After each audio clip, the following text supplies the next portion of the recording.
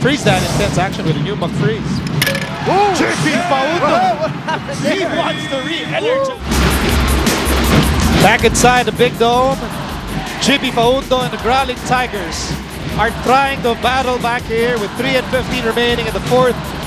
Faundo with a thunderous dunk and for a moment, nabuhay yung UST, the Uh-huh. crowd was, was back.